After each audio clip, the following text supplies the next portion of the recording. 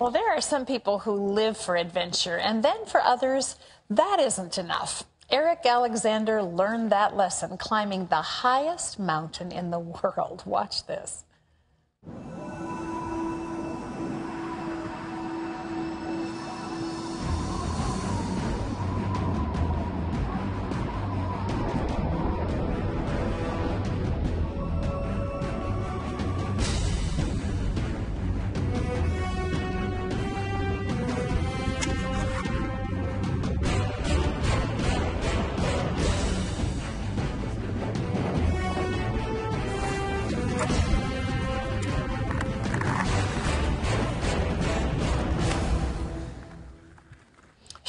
Please welcome to the 700 Club, Eric Alexander. Welcome. It is great to have you with us. Thank you very much.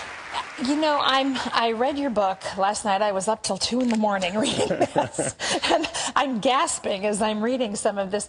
Everest isn't just the highest mountain in the world. I mean, it's the most dangerous. I mean, people, most people have issues either going up or coming down. What made you want to do this? Well, it had been a dream of mine ever since I was a kid. My dad came home with these big pictures one day, and it said, Prepare, Ascend, and Triumph. And it was of these mountain climbers just facing the obstacles. And I'd always kind of daydream about getting up into the high peaks. And growing up in the mountains, just being around them, it was something that I'd always aspired to. But really never dared to really truly embrace and dream about. And dared is the right word to use because a year before, as you were sort of preparing for this, you were in the Himalayas, was it? And That's you right. You took a 150 foot fall that almost cost you your life. Tell us about that. Yeah, I was climbing with my blind friend Erik Weihenmayer, and we were doing a training climb for Everest the next year. And I had spent a week up at 20,000 feet with him in a tent, and the rest of the team had gone to base camp to get more supplies. And well, after this week, we tried for the summit, but we didn't make it. And so we were pretty much beat up and tired, and it was on the way down. I was exhausted carrying a heavy pack. I stepped on a loose rock, which was on the edge of a 600 foot cliff. That rock turned over on me. I fell on it, and instead of going over with the rock in my arms, I let go of it, and I fell 150 feet. It wasn't a pure free fall. I had the good fortune of hitting some rocks on the way down yeah. and bouncing my way down. But really, 150 feet down, it was as though I landed right in the hand of God. And He said, You know, not today. And it was really miraculous that I didn't break any bones. Had I caught my foot or something, if something had happened and caused me to flip over, I would have certainly fell 600 feet and died. So now, Eric, if I had been crazy enough to do that the first time in that prep trip and then had fallen 150 feet. And you had some issues that lasted for almost a year after that physically. I did. After that climb, I got high altitude pulmonary edema, and that's when your lungs start to fill up with fluid. And this happened because my body went into shock and my body was compensating in a way that could kill me. And so the only way to fix that is to get down and descend quickly. But uh, I was close to death with that pulmonary edema. And then afterwards, when I finally did get home, I had a helicopter rescue and all this other stuff that went on. And pneumonia that. that. followed all of that, that went on and on. And uh, were you not afraid then to go back again? Well, it really interfered with my training. And I was really struggling with fear and doubt and going back to Everest. And I spent a lot of time with my, a good friend of mine whose name was Joseph and he was a prayer partner of mine and a climbing partner. And then I lost him. He died in a snowboarding accident two months before I was to go back to Everest. And it seemed like everything was kind of coming against me to do this climb. And so, really, I, I put it in front of the Lord, and I thought, I'm going to pray about this, and I'm going to pray that He closes all these doors yeah, so I don't God. have to deal with it. but really, instead, what happened was as I prayed, these doors opened. Yeah. And He said, I'm not going to put you on the summit of Everest. That's not my mm-hmm. goal for mm-hmm. you. My goal for you is for you to trust me yeah. and to take a step of faith. And you talk about that in the book, that the goal wasn't the, the summit. The goal was the trust factor on the journey. Yeah. You kind of mentioned this a little in passing a few moments ago, but you climbed with and assisted a blind climber, which is almost beyond comprehension. Uh, what was that like? Well, it's funny because people think, well, he must have been able to see a little bit to get to the summit of Everest, but no, he was completely blind. In fact, we had three blind trekkers, or two blind trekkers going with us. They had a hard time with the trail, but Eric is such a tremendous athlete. He was booking it down the trail, and people thought they were going to catch us in this hoax. And so one night we sat down and said, Eric, you got to tell the, you know the Sherpas who are here to help us get to the summit. You got to tell your story and tell them how you went blind. Well, instead he took out his prosthetic eyes and showed them. yeah, that would do it. That'd yeah. be a visual. After that, the Sherpa said, please do not do that again. and uh, we're a cohesive team on our way, you know. Unbelievable.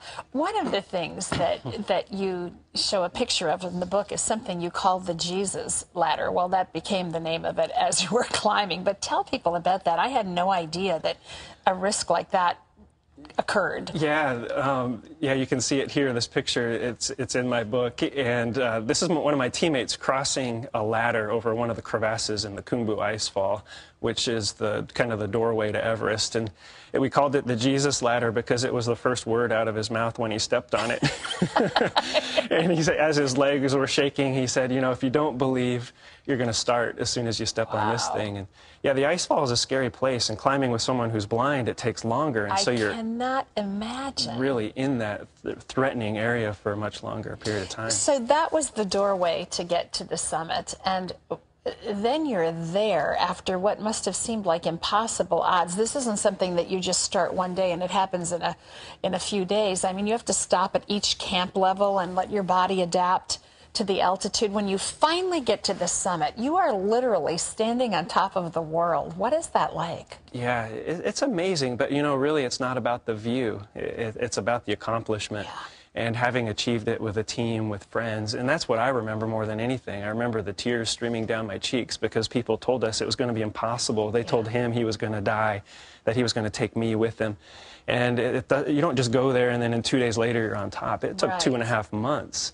And wow. so it's really a, a, an effort and perseverance. And that's what I love to share with people as I travel around and I get to speak and I, I, I share with audiences is that we, we need to persevere. You know, there's going to be obstacles yes. and trials at every step along the way. Well, and even when you get to the summit, you have to come down. That's I mean, right. that's the, I, I thought about that as I was reading it. I thought, good grief, after you finally make this unbelievable accomplishment, now you have to start the trek down, and a lot of people lose their lives on the trek down. More people die on the way down than they do reaching the summit. And wow. for every 10 people that have made the summit, one has died. And so the odds really aren't in your favor. Yeah. And uh, it was my job, uh, as, as I saw it, to take Eric from the summit back to Camp 4. And so I had him behind me the whole way talking to him. I had to take my oxygen off. I ran out of oxygen at one time on the way down. And so uh, just being there beside him and leading him all the way down and uh, yeah, it's, it's, it's scary. You've really got to stay focused on every step. The challenges along the way are, are more than most of us would would recognize or understand not having done something like this. But I love the fact that in your book, The Summit, Faith Beyond Everest's Death Zone, you at the end of each chapter you give us a little tidbit to walk away with, like you talked about perseverance and the need to hang on, but you apply it to all of our lives. And I think that's such an important thing. This book is about lots more than climbing Mount Everest, and I just really want to encourage you to get a hold of it. I think you would find it as astonishing as I did. If you'd like to hear more about the story, the book is called The Summit, and you can find it in bookstores around the country. Uh, where good books are sold. Eric Alexander, thank you. What an amazing story, and congratulations on an amazing accomplishment. All right. Well, thank you very Quite much. the guy. Pleasure to be here with you.